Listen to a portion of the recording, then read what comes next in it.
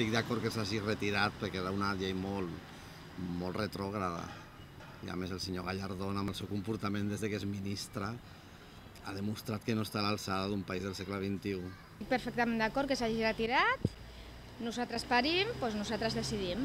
Jo crec que no hi ha una altra persona que tingui dret a decidir per lo que pots fer amb, amb, amb el teu cos. Sembla molt bé que s'hagi retirat que semblava increïble que aquesta llei tirés endavant perquè, clar, comparat amb la resta d'Europa ens en anàvem com a 40 anys enrere, no? Jo penso que està bé perquè, en la meva opinió, és un dret de cada persona, cada parella i sobretot de cada dona.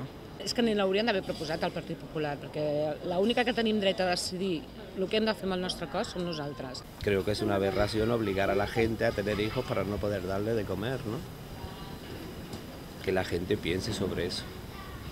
Cuando las estadísticas dicen que en Cataluña hay 370.000 niños mal alimentados. I em sembla perfecte perquè crec que les dones tenim dret a decidir no? el, que, el que suposa tenir un fill i les condicions. Que està bé que s'hagi retirat perquè jo bueno, estic a favor de, la, doncs de que les dones siguin lliures d'escollir el que volen fer. També a favor de que s'hagi retirat perquè era impossible que això continués endavant. No es pot ser tan carca, ni tan antic, ni tan prehistòric com són el Partit Popular.